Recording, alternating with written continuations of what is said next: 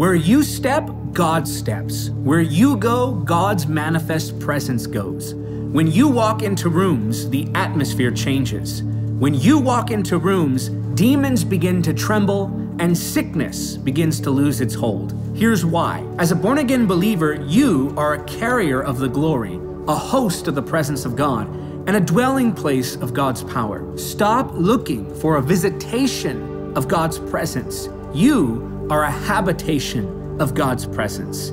You don't seek encounters, you live in one. Stop looking for an atmosphere, become an atmosphere by surrendering to the Holy Spirit who dwells in you. Subscribe to learn more about the Holy Spirit.